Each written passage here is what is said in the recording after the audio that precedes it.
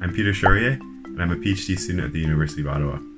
This year for Earth Day, I'll be celebrating by heading outside to the nearest green space and soaking in the beautiful outdoors. I think the most pressing concern about the state of the Earth right now is the crisis in biodiversity that we're seeing.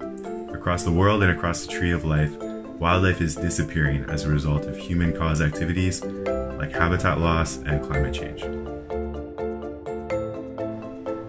To help save our beautiful planet, we need to elect decision makers who are going to act on the environment. You can also make an impact by contributing to citizen science biomonitoring programs like eButterfly or iNaturalist. And in your backyard, you can try creating a pollinator garden. This creates food and shelter and valuable habitat for pollinators like bumblebees, butterflies, and birds, and everything else in between. Happy Earth Day!